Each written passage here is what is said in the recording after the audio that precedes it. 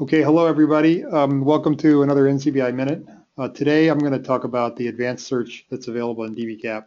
This first slide is just a reminder of a few housekeeping details and things like that. We're going to make the recording of this webinar available on our YouTube channel uh, under the webinars playlist. There's a link there to that YouTube channel. Okay, so today we're going to talk about an advanced interface to uh, dbGaP. So I'm going to talk a little bit about what dbGaP is. I assume that if you're attending this webinar, you probably know a lot about it already, but I just want to introduce a little bit of information about dbGaP. And then I'm going to show you a couple of slides that show you the interfaces that I'm going to be talking about. And then we'll go live for a demonstration of how to do this. So dbGaP stands for the database of uh, genotypes and phenotypes, and it contains human phenotype data and related individual level molecular data. Often these are genotypes, there are lots of different kinds of studies in dbGaP um, encompassing lots of different uh, numbers of participants from you know a few to tens of thousands. Um, there's about a million individual people represented in dbGaP at this point across more than 600 studies. dbGaP contains uh, information about the studies, individual level molecular data, analysis results, medical images, general information about the study, research protocols, and questionnaires. Molecular data types include things like genotypes, expression level, genomic sequence, epigenomic information, somatic mutations, and even human microbiome information. Because this contains human individual level data, there are privacy issues. And so in order to get access to that data, you have to get controlled access uh, application and approval. Uh, and there's a document that's linked to the dbGaP homepage that talks about how you go about doing that. From the web point of view, the main way into dbGaP is from this dbGaP homepage, which is easily accessible from our homepage, the NCBI homepage, or from Google or any search engine that you like. You just type dbGaP in there and you'll get to this page. The main search box on this page is basically an Entrez search interface, um, and you're probably familiar with those. Any of our molecular databases have those, and PubMed, in fact, is an Entrez interface. What we have available now on dbGaP is a separate advanced search page. It makes it a little bit easier to find the data you need. It's sort of a better adapted interface to working with dbGaP data. So if you click on that link that's shown here on the dbGaP homepage, you'll go to that interface, which is really just an alternative way of searching dbGaP data on the web, finding studies and other kinds of things that you need. And so basically this is a fat, what's a, what we might call a faceted search interface. There are sort of these filters on the right that let you filter the studies their variables, the phenotype data sets, documents, molecular data sets, analyses by study, keyword search, disease, study design, molecular data type, and marker sets. You can also do a keyword search across all of these things, all these different aspects of the data. While you're doing that and you're constructing your query, there's sort of an SQL type query that's formed up there in the top, and you can adjust those by clicking on them to remove them. And there's a link there that goes directly to this page if you want it. Whenever I write links in these webinar slides, the NCBI thing in angle brackets represents the NCBI homepage URL, www.ncbi.nlm.nih.gov. So what I want to do now is leave the slides and take you to this faceted search interface and just do a couple of simple examples to show you how it works. So I'm going to escape out of PowerPoint and I'm going to switch over to my web browser. And my web browser is set right now on the NCBI homepage. And if you want to try to follow along with me, you certainly can do that if you launch a web browser. Um, so what I'm going to do is to get to the dbGaP homepage.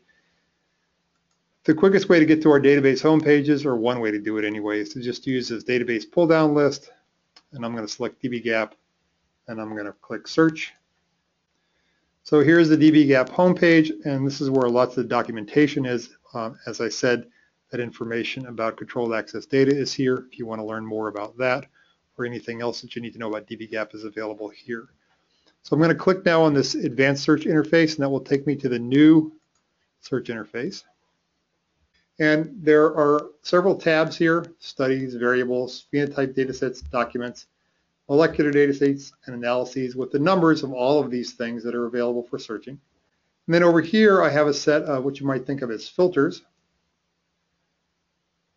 with the numbers of things that I can, each one of these aspects of things that I can filter by. And we'll use these to sort of get a particular kind of data out of here.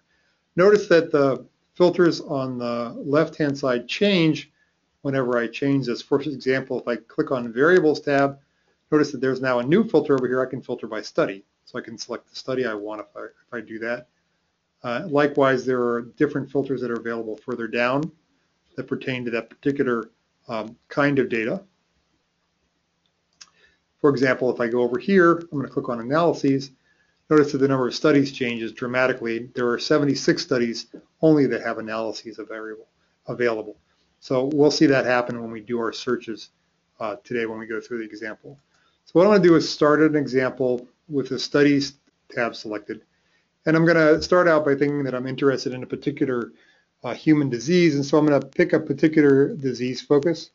And I'm going to look at type 2 diabetes. So I can see what's available simply by typing diabetes here. And I'm going to pick the checkbox here that says there are 11 type 2 diabetes studies. So I can see them here.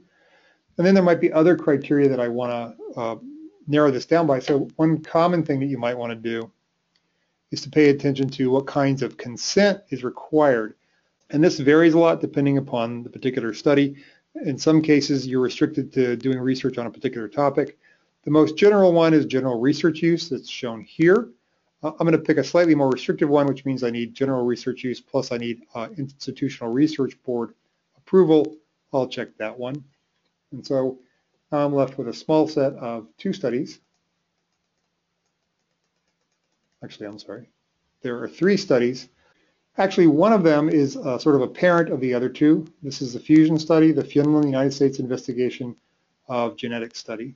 And so I can pick one of these if I want to learn more about it. So if I'm interested in sequence data, and notice that I could narrow this down if I wanted to by what kind of sequence data, what kind of data is available. So I could pick, for example, whole exome if I wanted to.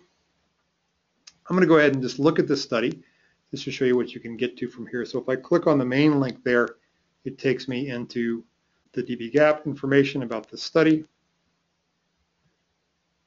I can see that it is um, a sub-study of this larger one. And to get authorized access, I'd have to look at the larger study to see what's required there.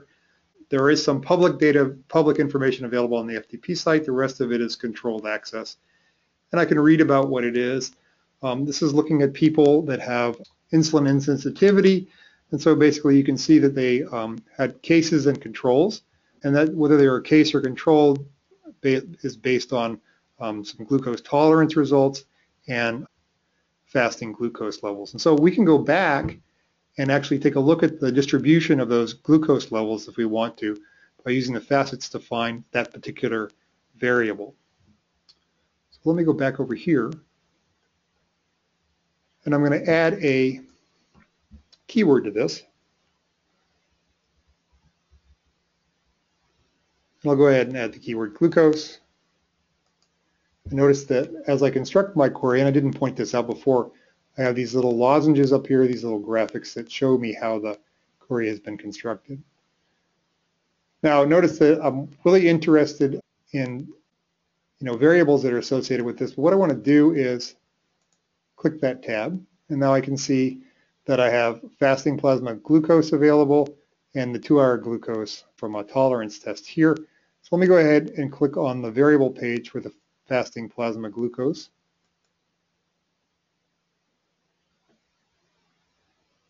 And so here I've got a nice graph that shows me what the glucose levels are um, for the people that are in the case group. These are the people that are potentially a diabetic and in the control group, and then here's the overall distribution of glucose levels here. So that's a pretty quick way to find out that kind of information.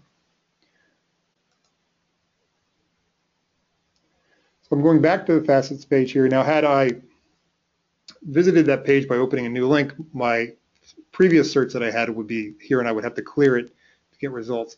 What I'm interested now is in a totally different kind of variable. I'm going to be looking at something called bilirubin, which is a breakdown product of hemoglobin that's in people's bloodstreams and it's excreted in the bile.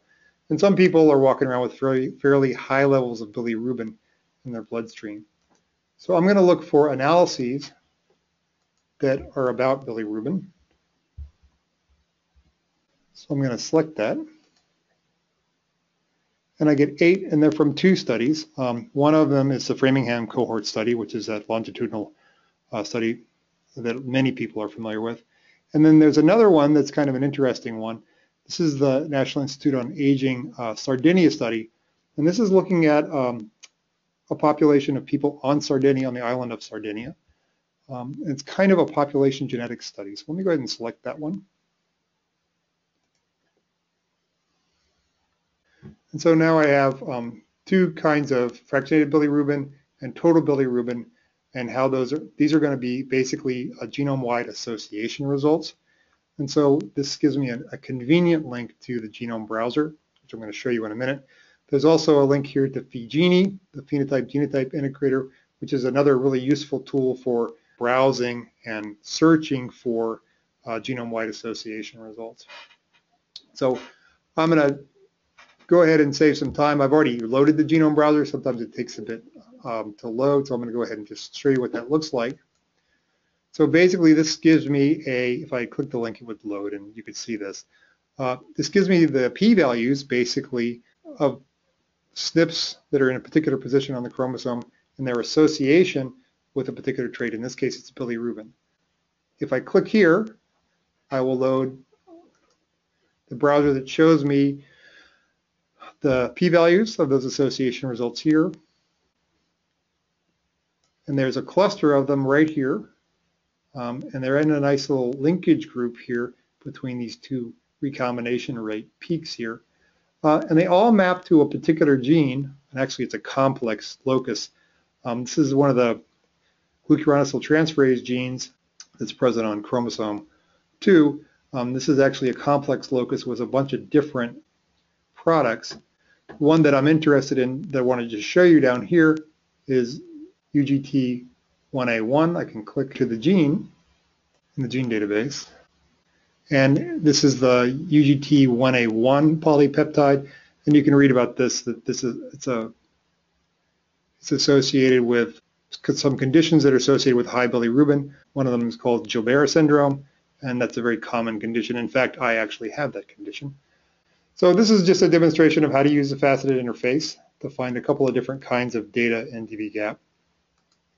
Um, let me go and switch back to the slides for a minute just to show you a couple of other resources that are useful um, when dealing with dbGaP, some links to some things.